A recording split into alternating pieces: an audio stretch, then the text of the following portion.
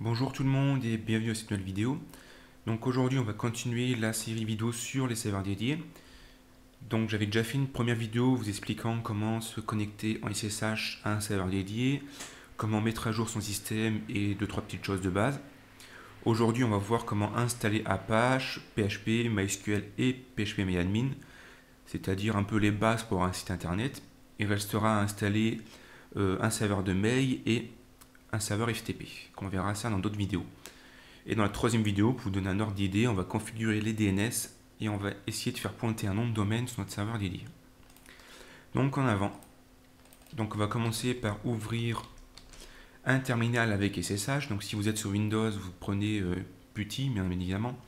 Si vous êtes sur Mac, euh, comme sur Linux, vous avez SSH qui est déjà installé par défaut. Si vous avez suivi mon premier tutoriel, normalement vous avez dû changer le numéro de port pour SSH. Donc c'est plus 22, c'est autre chose, donc vous devez le préciser, ici par exemple. Et également, ce n'est plus route, c'est un autre nom d'utilisateur qu'on utilise pour se connecter. Donc on se connecte en SSH, on met le mot de passe de l'utilisateur. Et une fois qu'on est connecté sur la machine, on va passer en mode admin avec la commande sous. Et on tape le mot de passe de l'administrateur et on est en mode admin. Donc pour savoir si on est en mode admin, c'est très simple, il suffit de regarder ici à gauche. S'il y a root at le nom de la machine, c'est qu'on est en admin. Donc on va commencer par installer Apache. Donc pour ça, on va utiliser une commande. Donc apt-get install. Et on va installer les paquets Apache 2 et Apache 2-doc pour la documentation. Et également, s'il y a un autre Apache 2-common comme ceci, voilà. Donc page 2 command apparemment n'est pas disponible, donc c'est pas grave, l'enlève. Donc on continue, donc là il vous demande confirmation, donc soit vous appuyez directement sur Entrée, puisque le O qui est en majuscule ici représente le choix par défaut, soit vous tapez O, vous faites Entrée. Et vous patientez pendant que les paquets se téléchargent et s'installent. Donc voilà, Apache vient de terminer de s'installer on a de nouveau accès au prompt, donc on peut taper des commandes. Je vais faire un clear pour effacer tout ça. Donc pour euh, un moyen assez simple de vérifier si Apache a bien été installé, en fait, c'est avec Firefox d'aller sur la page de votre serveur dédié. Donc vous avez l'adresse du serveur dédié euh, grâce à l'email que vous avez reçu par OVH, en fait, avec votre mot de passe et l'adresse IP du dédié. Donc vous entrez ça dans euh, un navigateur web, normalement, vous avez une page avec It Works. Ça veut dire qu'Apache est bien installé. Donc du coup, maintenant qu'on a installé Apache, on va pouvoir faire quelques configurations. Donc comme j'expliquais dans la première vidéo, en fait, la plupart des fichiers de config euh, pour les logiciels qu'on installe, en fait, sont situés dans slash etc. Donc on va aller dans, dans, ce dossier, donc cd slash etc slash le nom du logiciel. Donc là, en l'occurrence, c'est Apache 2 si je fais un ls, vous voyez les différents fichiers et dossiers qui existent. Donc je vais essayer de vous expliquer rapidement euh, à quoi correspondent ces différents dossiers et fichiers. Donc on a le fichier apache2.conf qui est en fait le fichier de configuration d'Apache 2. Donc c'est là-dedans qu'on va mettre quelques règles euh, que je vais vous montrer un peu plus tard. On a le dossier mode enabled. En fait ça c'est les modes qui sont activés et qui fonctionnent sur Apache on a site available, donc ça en fait c'est les sites qui sont disponibles mais pas en ligne en fait. On a le dossier conf.d qui contient quelques fichiers de configuration, on aura l'occasion d'y revenir. httpd.conf en fait ça c'était l'ancien fichier de configuration d'Apache pour la version 1.3 si je dis pas de bêtises. Donc là vu qu'on est en version 2 on s'en sert pas souvent ce fichier là. Et on a aussi le dossier mode available en fait ça c'est tous les modes qui sont disponibles. Le fichier port.conf, ça précise sur quel port Apache doit écouter. Donc par défaut, c'est le port 80 et 443, si je dis pas de bêtises. Donc ça, normalement, on n'a pas besoin d'y toucher. Et le dossier site enable, qui contient les sites qui sont en ligne. Donc une petite remarque sur les modes et les sites. En fait, Apache, tous ces modes sont installés dans le mode available. Donc si je veux faire un tour dans mode-available, que je fais un ls, j'ai tous les fichiers pour les modes. Donc c'est les modes qui sont disponibles mais pas forcément activés. Les modes qui sont activés en fait sont situés dans le dossier mode enable. Et ça, c'est les modes qui sont activés. Donc une nuance entre les deux. Et c'est la même chose pour les sites. En fait, on a des sites qui sont configurés, on va dire, mais qui sont pas forcément en ligne. Donc c'est les sites qui sont dans site available et les sites qui sont réellement en ligne activés, c'est dans site enable. Donc ça, on aura l'occasion d'y revenir dans la prochaine vidéo où on va configurer les DNS. Là, je tenais juste à vous montrer deux trois petites choses pour comprendre un peu le fonctionnement général de la page. Donc aussi euh, une petite remarque pour si vous voulez activer un mode. Donc par exemple, vous allez activer le mode rewrite. Il y a une commande qui existe, c'est a2n mode. Donc qu'est-ce que ça veut dire? A page 2 enable mode. Et là vous mettez le nom du mode, par exemple rewrite. Si vous voulez avoir des URL qui soient euh, correctes, on va dire. Et ensuite, chaque fois vous faites une modification au niveau des modes ou des sites ou de la config, soit vous faites un slash etc slash init.d slash page 2 soit vous faites un reload qui va redémarrer la config en fait ou un restart ça va redémarrer Apache et pour désactiver un mode c'est quasiment la même chose. C'est a2 dis mode donc apache 2 disable mode et vous mettez le nom du mode et vous euh, reloadez la configuration d'Apache et c'est exactement la même chose pour les sites. Si vous voulez ajouter un site, le rang d'actif c'est A2N site. Donc là j'ai pas de site de configurer donc ça ne marchera pas. Et pour enlever un site, c'est A2 dis site. Donc ça je vous l'explique maintenant, mais on aura l'occasion d'y revenir euh, dans la prochaine vidéo. Donc là du coup maintenant on va aller faire un tour dans la configuration d'Apache pour régler deux trois petites choses. Donc la première chose qu'on va essayer d'enlever, pour des raisons de sécurité, c'est en fait chaque fois qu'on fait une erreur 404, donc là par exemple je vais mettre une page qui n'existe pas, hein. vous avez une page 404 not fond, donc là rien de bien particulier, mais ce qui est embêtant c'est qu'en bas ici vous avez une espèce de bandeau avec des informations sur votre serveur, et ça c'est pas très bon. Que généralement les gens qui essaient de vous pirater, ils recherchent ce genre d'informations pour ensuite pouvoir rechercher des failles en fonction de votre version que vous avez sur votre serveur. Donc si vous avez Apache, je sais pas moi, 2.2.16, s'il existe un exploit ou une faille avec ce type de serveur, ben les gens le sauront. Donc c'est pas très bon. Donc pour désactiver ces informations-là, en fait, il faut aller faire un tour dans le apache2.conf. Donc pour éditer des fichiers, on utilise VI. Donc VI apache2.conf. Et là, vous allez tout en bas, en fait, du fichier. Donc là, vous avez le fichier euh, d'Apache.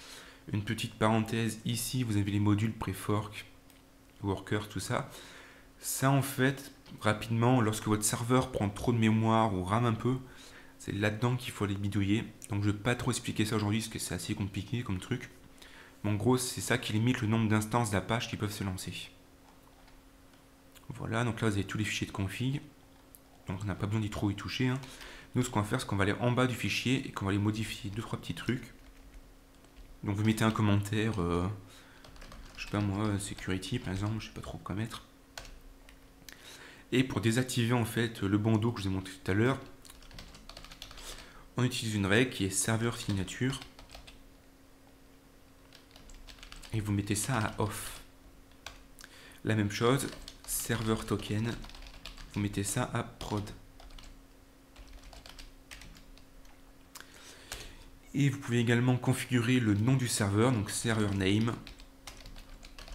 Et moi je vous recommande de mettre la même chose euh, que le nom que vous avez ici en haut dans l'adresse. Donc vous copiez ça et vous collez. Pas besoin de guillemets par contre, hein, vous mettez ça juste comme ça, ça suffit. Vous faites échappe 2.wq pour enregistrer. Donc ça, je l'ai déjà expliqué un peu dans la première vidéo, mais je vais y revenir un peu de temps en temps parce que c'est assez compliqué au début.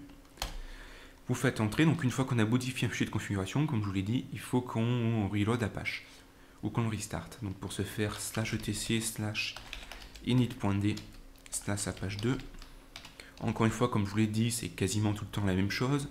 Lorsque vous avez besoin de redémarrer, démarrer, arrêter un service, c'est quasiment tout le temps slash etc slash init.d slash le nom du service, donc là en l'occurrence apache 2. Et ensuite vous mettez ce que vous voulez faire, donc là on va le reloader. Voilà. Donc du coup, la configuration a bien été prise en compte. Et si je fais un tour sur ma page 404, vous remarquez que le bandeau a disparu. Une autre petite parenthèse aussi, tant qu'on y est. Euh, vous allez faire un tour dans le dossier mode available, donc cd mode available. Vous faites un ls pour voir un peu tous les modes qu'il y a. Et on va éditer un fichier qui s'appelle dir.conf. Et donc vi dir.conf. Et en fait, je voulais juste vous montrer ça. Donc ça, en fait, c'est la liste des fichiers qu'Apache va rechercher lorsque vous accédez à une URL avec un dossier. Donc je m'explique. Genre là, sur mon site, vous remarquez que je me connecte donc à, mon serveur avec voilà, mais qu'il n'y a pas de nom de fichier, il n'y a pas par exemple index.html. Je n'ai pas précisé ça dans l'URL. Donc par défaut, lorsqu'il n'y a pas de nom de fichier dans l'URL, Apache va aller rechercher des noms qui sont situés ici. Donc il va rechercher index.html, .php, etc. Et ça va afficher une page web plutôt que le contenu du dossier. Donc c'est assez intéressant. Et ça se situe c'est dans ce fichier de configuration que ça se fait. C'était juste une petite parenthèse. Normalement, vous n'avez pas besoin de le modifier, ce fichier, c'est déjà bien par défaut. Mais c'est bien de le savoir. Donc là, vous faites échappe, Q et point d'exclamation pour quitter sans enregistrer. Voilà. Donc je vous ai déjà parlé des, commandes pour activer des modes, donc A2M mode, A210 mode, etc. Il y a une commande aussi qui est assez pratique, c'est pour savoir les modes qui ont été activés. Cette commande, c'est Apache 2ctl t-d majuscule et vous faites dump module. Et vous avez en fait les modules qui ont été chargés. Donc c'est assez intéressant de le voir. Voilà, donc après, une petite parenthèse aussi encore une fois au niveau des sites, histoire de vous expliquer un peu comment fonctionne Apache, c'est assez compliqué au début quand même. En fait, à chaque fois vous voulez ajouter un site sur votre serveur dédié, il faut aller créer un, fichier dans site available. Donc on va aller dans site available, vous faites un ls, donc là il y a deux fichiers, un default et un default-ssl. Si on fait un tour dans le default, voilà ce qui se passe. Donc ça, ça va être l'objet de la prochaine vidéo, mais je vais en parler rapidement tout de même. En fait, chaque fois vous allez créer un nouveau site, un nouveau nom de domaine sur votre serveur dédié, vous allez créer un fichier dans le dossier site available qui reprend un peu euh, l'exemple de ce fichier de configuration avec quelque chose en moins quand même. Genre, on n'a pas besoin de la doc ici, on n'a pas besoin généralement des, des, CGI, donc on peut l'enlever ça. Mais ça reprend globalement un peu ce fichier là. Donc on précise qu'on écoute sur le port 80, on précise euh, l'adresse de l'admin, voilà, le document route, donc euh, l'endroit, le dossier où sont stockés les fichiers pour le site en fait. Donc quelques règles aussi qu'on peut préciser au niveau des Access, hein, c'est à peu près le même principe. L'URL du site, donc là c'est pas marqué parce que c'est le fichier par défaut. Et ce genre de truc. Et en fait, chaque fois vous allez avoir un, un nom de domaine dans votre serveur dédié, vous allez créer un fichier qu'on appelle un virtual host là-dedans. Et vous allez activer ce fichier avec la commande que je vous ai montré tout à l'heure qui est a2nsite. Voilà comment fonctionnent un peu euh, les sites sur Apache. Donc ça, ça va être l'objet de la prochaine vidéo, mais bon, tant qu'on est dans Apache, j'aime bien en parler maintenant. Voilà, donc c'est à peu près tout pour Apache pour le moment, hein, pour une présentation assez rapide. On va installer PHP.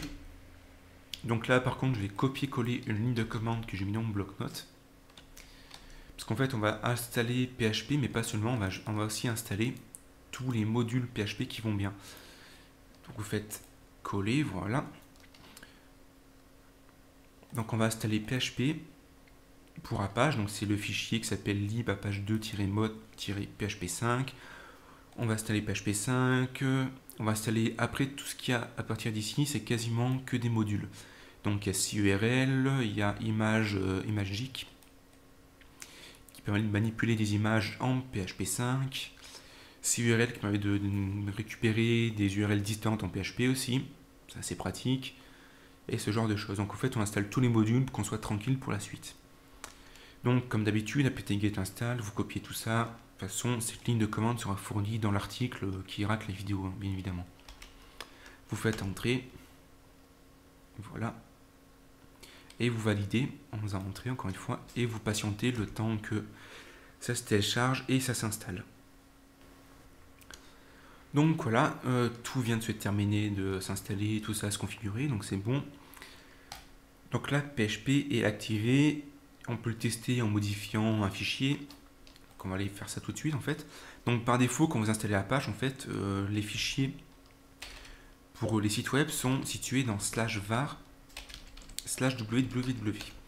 Si je fais un ls, vous remarquez qu'il y a un fichier qui s'appelle index.html qui correspond en fait à la page Itsworks qu'on avait eu au début pour tester si Apache fonctionnait bien, cette page-là. Donc ce que je vous propose de faire, c'est de la modifier pour tester si PHP fonctionne bien. Mais avant de tester ça, il faut redémarrer Apache pour qu'il prenne en compte la nouvelle configuration avec PHP. Donc slash etc, slash init.d, slash apache 2. Et cette fois-ci, je fais un restart. Vu qu'on a fait des grosses modifications, on a installé PHP quand même, donc c'est peut-être un peu plus sûr de faire un restart plutôt qu'un reload. Voilà, donc du coup maintenant je vais modifier mon fichier index, mais avant, je vais le renommer en index.php. Comme ceci, avec la commande mv, hein, c'est une petite astuce que j'ai déjà expliqué dans les vidéos sous les commandes Unix. Ensuite, on va modifier ce fichier, donc via index.php, et on va faire deux choses. Déjà, on va passer au mode insertion. On passe au mode insertion avec VI on ouvre les balises PHP. On va faire un écho test déjà, vite fait pour tester euh, ce que ça donne, pour voir si PHP fonctionne. Et on va faire une commande qui n'est pas valide. On va faire un php-info, donc c'est pas ça la commande, hein, je le précise. C'est PHP info mais sans tirer. Juste pour vous montrer euh, une erreur, euh, enfin une erreur. Une configuration qu'on aura à faire. Échappe WQ pour enregistrer comme ceci. Voilà. Ensuite, on réduit ça. On va faire un tour sur la page ici, juste pour voir si PHP est pris en compte. Donc là, il y a bien le test qui apparaît. Mais vous remarquez que j'ai entré une commande qui n'est pas valide, mais PHP n'indique pas d'erreur. J'ai pas d'erreur qui, me donne une piste pourquoi c'est pas valide. Et d'ailleurs, il manque un, morceau du texte de la page, j'ai l'impression. Donc du coup, PHP plante, mais on ne le voit pas. Donc ça, c'est pas très bien. Parce qu'en fait, par défaut, PHP n'affiche pas les erreurs. Hein, c'est un fichier de configuration qu'il faut les modifier. On va faire ça tout de suite. Donc les fichiers de configuration, euh, comme la plupart du temps, c'est dans slash etc. Hein, donc cd slash etc slash php5 slash apache2. Et là, il y a le, fameux fichier qui s'appelle php.ini. Voilà, donc on va le modifier. Donc vi php.ini. Et dans ce fichier, il y a plein de choses intéressantes qu'on peut aller voir, donc je vais essayer de vous les présenter maintenant. Sachant qu'il y a beaucoup plus de choses que je pourrais vous montrer, mais bon, ça prendrait trop de temps. Et n'hésitez pas à aller voir la, documentation sur internet, hein. c'est fait pour. Donc déjà dans VI, je vais taper slash pour rechercher des, mots, hein, parce que je ne vais pas me taper tout le fichier à la main quand même. Donc on va commencer par rechercher max execution time. Ici. Donc ça en fait c'est le temps maximum qu'a un script pour s'exécuter avant que ça plante, tout simplement. Dans le même, dans le même état d'esprit, vous avez en bas le max input time. Donc ça c'est le temps maximum qu'a un script pour euh, parser ses données, comme vous voyez que c'est ici écrit. Donc en fait c'est peut-être une bonne idée de modifier ces valeurs en fonction de, de ce que vous voulez faire. Si vous avez des gros scripts comme par exemple, je sais que la mise à jour automatique de WordPress, elle prend du temps et souvent elle plante à cause de ce genre de directive. C'est qu'en fait, il n'a pas le temps de s'exécuter. Donc, il faut peut-être aller modifier là-dedans. Donc là, je vous les présente pour que vous puissiez les modifier si vous avez envie. Hein. Même si par défaut, c'est pas trop mal. Autre chose intéressante, c'est le max memory limit. Pardon. Memory limit. Donc ça en fait c'est la mémoire que peut consommer un script. Donc c'est écrit ici en haut en anglais. Hein. Ils sont assez bien faits les fichiers de config. Vous avez les descriptions même des liens vers internet. Hein. donc je ne veux pas trop, euh, euh, en parler quoi. Moi je vais mettre 64 parce que mon serveur il est pas très puissant. Ensuite, une autre option intéressante, c'est pour l'upload cette fois-ci. Vous pouvez définir la taille euh, maximum de vos uploads ici. Donc file upload on, donc vous pouvez le mettre sur off si vous voulez désactiver euh, l'upload de fichiers. Et ici, en fait, vous avez la taille max euh, des fichiers que vous pouvez uploader sur votre serveur. Donc là, par défaut, c'est 2 MO. Donc si vous voulez faire un service, par exemple, qui héberge des images ou des vidéos, ça peut être intéressant d'augmenter ça. Donc moi, je vais mettre une 10 MO. Ensuite, autre chose à, aller regarder, c'est les registres global. Donc ça, en fait, c'est un paramètre qu'il faut mettre sur off parce qu'en fait, ça pose des problèmes de sécurité. Donc, trompé l'orthographe. Comme ceci. Donc vous faites n pour aussi dans les résultats en fait. Hop, n ici. Donc là, les registres global sont sur off, c'est bien, parce que ça pose des problèmes de sécurité. Donc on va venir à notre problème d'erreur que je vous ai montré tout à l'heure, hein, comme quoi PHP n'affiche pas les erreurs. Donc ça en fait c'est simplement une directive qui s'appelle display error et qui par défaut est sur euh, off. Si je dis pas de bêtises, il faut que je la trouve déjà ici. Donc par défaut display error est sur off. Ça par contre c'est pas cool du tout. Parce que si vous si vous êtes un développeur un peu comme moi et que vous faites des scripts, si vous n'avez pas les erreurs, euh, ça craint un peu. Pour débugger après c'est un peu galère. Voilà, donc on met sur on ça. Et une dernière directive, en fait, c'est les disable functions. Donc, c'est les fonctions en fait à enlever. Donc là, je vais récupérer une liste de fonctions qu'il faudrait euh, enlever en fait, parce qu'elles sont assez dangereuses. Donc, je vais récupérer ça. Donc, vous allez rechercher en fait disable function. Voilà. Donc là, par défaut, c'est vide. Euh, moi, ce que je vous conseille de faire, c'est de mettre les mêmes fonctions que moi.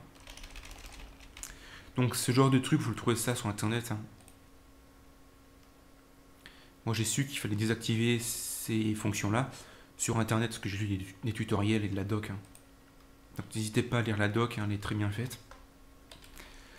Et on a à peu près fait le tour du fichier PHP a beaucoup plus de choses à dire dessus. Donc allez voir la doc si vous voulez approfondir un peu ça. Une dernière petite chose que j'ai failli oublier en fait, c'est pour activer en fait la, la gestion de l'UTF-8 dans le PHP 5. Donc ça en fait, ça peut peut-être vous éviter des problèmes d'accent par la suite. Les accents qui sont mal encodés, genre de choses. Donc là, ce que je vais faire, c'est que je vais aller tout en bas du fichier. Je sais qu'il existe un raccourci pour aller tout en bas du fichier avec VI, mais je ne me souviens pas. Donc je scroll avec la souris. On va se mettre par là à peu près. Donc euh, moi je sais pas trop mettre euh, mes fichiers de config, enfin mes configs là que je vais ajouter. Donc généralement quand je sais pas trop les mettre, je mets ça à la fin du fichier, comme ça je sais que c'est moi qui ai fait ça. Vous pouvez mettre un commentaire, donc là je vais mettre UTF-8 par exemple. Et là vous allez coller la même chose que moi en fait. Ça va permettre d'activer PHP, euh, enfin UTF-8 par défaut. Ce qui peut éviter quelques soucis au niveau des accents et de l'encodage des caractères vous faites échappe WQ et on va euh, reloader Apache pour euh, prendre en compte une nouvelle configuration. Donc ça, je slash init.d slash apache 2 et vous faites un reload. Et surtout, faites pas un slash php 5, hein, ça n'existe pas ça. Hein. Ça n'existe pas. Il faut, faire, faut reloader Apache. Hein. Donc voilà, du coup, PHP est installé. On va juste aller vérifier si mon erreur elle est elle s'affiche ici, normalement oui. Voilà. Donc là, il me dit que la fonction n'existe pas. Du coup, je, peux peut-être aller modifier là, mon, le fichier pour qu'il affiche réellement le PHP info. Voilà. On va juste virer le tiret qui est ici. Et on enregistre. Et du coup, j'aurai le PHP info qui va s'afficher. Donc c'est toujours intéressant de voir un peu le PHP info. C'est une manière rapide de voir les modules qui sont installés. puis, si vous avez besoin d'aide sur Internet, vous pouvez filer votre PHP info, comme ça, ça peut être intéressant. Voilà. Donc maintenant, on va installer MySQL. Et après, on va installer PHPMyAdmin. Donc pour installer MySQL, on va retourner sur notre commande. Voilà, on va faire un clear. Donc il faut installer apt-get install comme d'habitude. On va installer cette fois-ci mysql-server mysql-client mysql-common et ça devrait être bon. Donc là, il va vous préciser, vous faites entrer hein, comme d'habitude. Là, il vous demande en fait un mot de passe pour le super utilisateur MySQL. Donc mettez quelque chose d'assez compliqué, hein, comme d'habitude. Voilà. Ah, je suis trompé dans le mot de passe, c'est pas grave.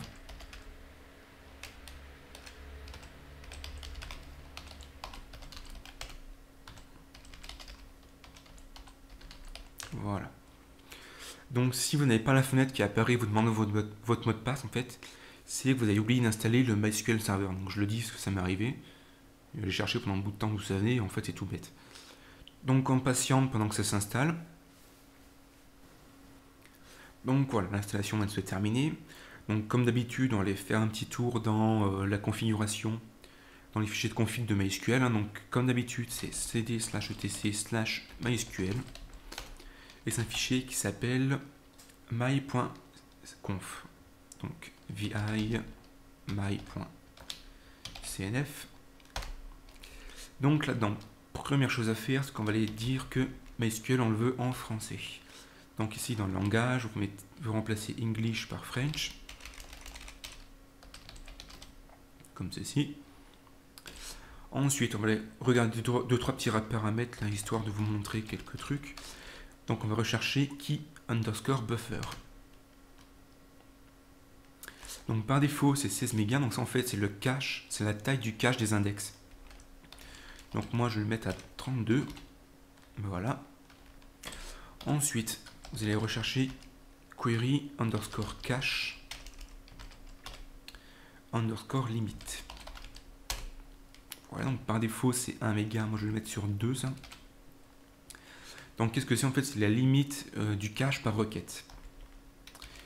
Ensuite en bas vous avez la limite, enfin la taille totale du cache des requêtes. Donc vu qu'on a doublé celui-là d'avant, ce serait peut-être logique de doubler celui-là aussi. Donc je vais mettre 32. Ensuite, euh, on peut désactiver les logs binaires aussi, ça ne sert pas à grand chose. Donc vous recherchez log bin.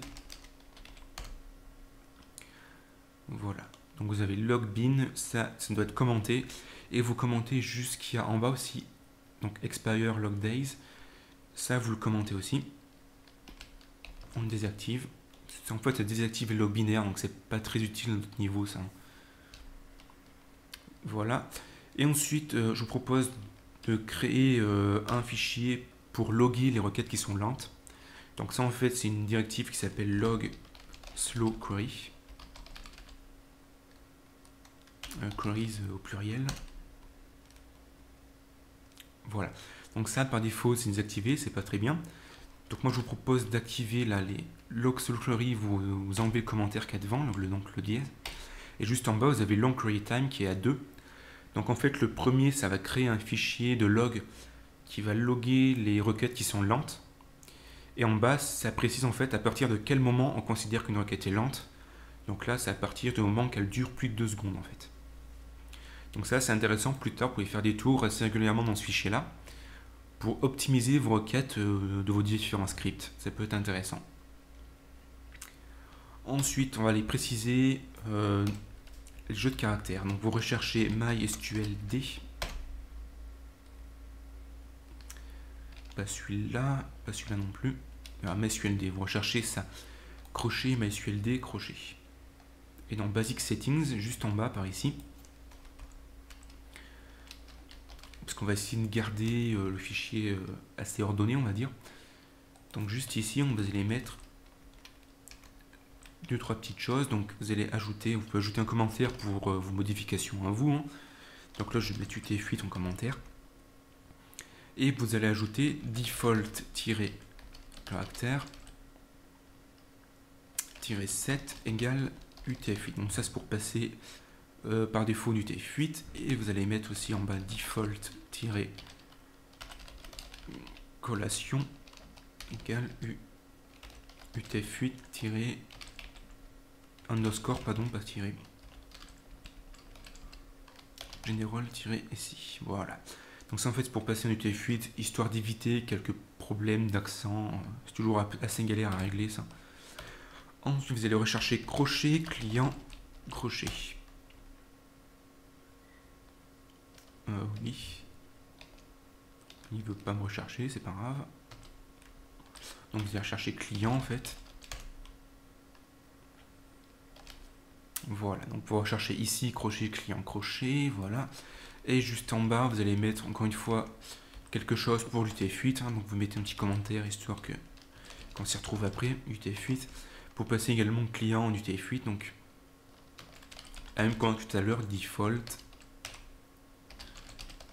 caractère-7 égale UTF-8, comme ceci. Donc vous faites échappe, WQ pour enregistrer. Ensuite, on va recharger la configuration de MySQL, donc slash etc slash init.d slash MySQL. Vous faites soit un restart, soit un reload, comme vous voulez. Moi, je fais un restart. Si euh, ça plante, c'est que votre fichier de configuration, il y a une erreur dedans.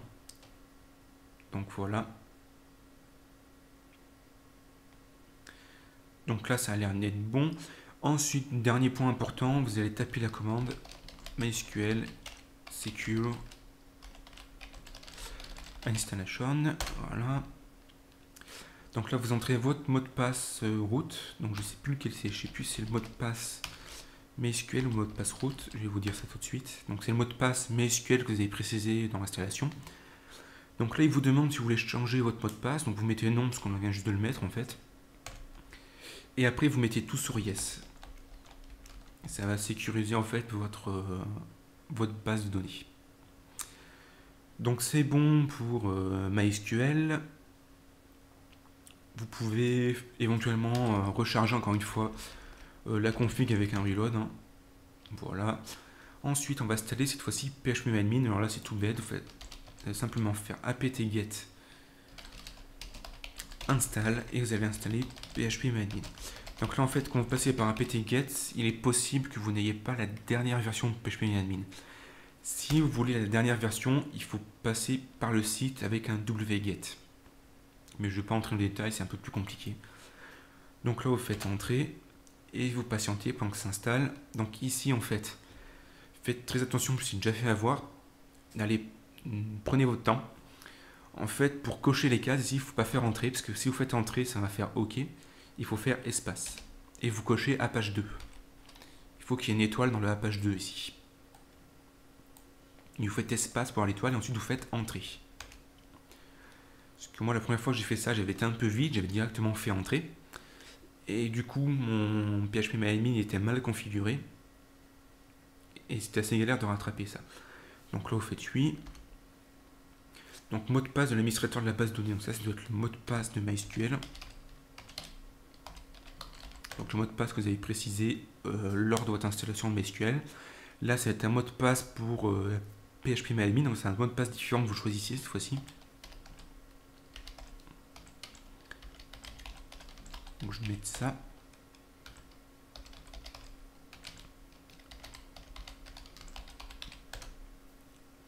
Donc mettez quelque chose d'assez compliqué. Hein. Voilà. Donc l'installation c'est terminé, c'était un peu plus rapide que prévu. Pour tester si vous avez bien installé votre PHP MyAdmin, euh, vous allez sur votre site, voilà, là vous tapez. Avant vous allez redémarrer Apache, oublié. Euh, quoi qu'apparemment il l'a fait tout seul ici, je vois bien, mais bon, on va quand même le faire manuellement pour être sûr. Donc init.d, la page 2, vous faites un reload. Voilà. Et dans le URL en haut, vous allez rajouter slash php myadmin. Et si c'est bien configuré, c'est bon. Par contre, là, j'ai des problèmes d'accent, c'est bizarre, c'est la première fois que ça me fait ça. Ici, vous allez mettre route et le mot de passe de MySQL, si je dis pas de bêtises. Voilà. Et vous avez accès en fait à votre PHP MyAdmin sans trop de soucis. Donc voilà, ce tutoriel là, je pense qu'il est terminé. J'ai essayé d'être euh, d'expliquer plein de choses, donc j'espère que vous avez apprécié. La prochaine vidéo, ça concernera la configuration des DNS, des noms de domaine. On va faire pointer un nom de domaine sur notre serveur dédié. On va voir la configuration d'Apache. On va voir comment créer plusieurs sites, euh, ce genre de choses. Donc ça va être du concret. Après, il faudra que je parle de l'installation du FTP aussi, ce sera intéressant. À part si je le fais avant les DNS, ce qui serait logique, on verra. Donc si vous avez des questions, n'hésitez pas à aller faire un tour sur le blog. Et n'hésitez pas surtout à aller rejoindre la page Facebook, on est déjà 300. Donc voilà, j'espère que vous avez apprécié et amusez-vous bien avec votre serveur. Bonne chance.